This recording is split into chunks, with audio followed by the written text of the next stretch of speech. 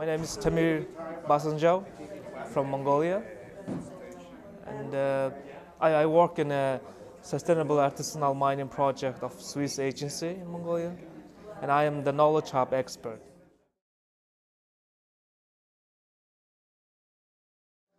I think I think it's uh, this type of dialogue is re really important. Uh, it's not in the international level, also in the local level. In terms of the understanding, better understanding of the ASM and the belief on this field is really crucial for this type of dialogue need to be held in international, also in the local level.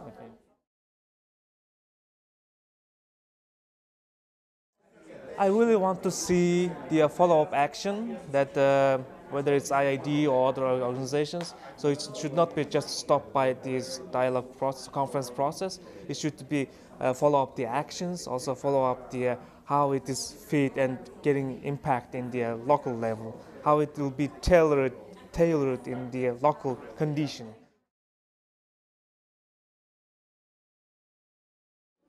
I believe that uh, it is very crucial that the government understands the uh, importance of the ASM and uh, this is not about the uh, mining issue. It is also it is involving the human rights. It is involving the social issue. It is also involving the employment issue and economic benefits. So I think if it's this type of dialogue and these topics when come to the national level and disseminate the information about this and increase the awareness of the especially the local government people and it's really crucial for the ASM miners I believe.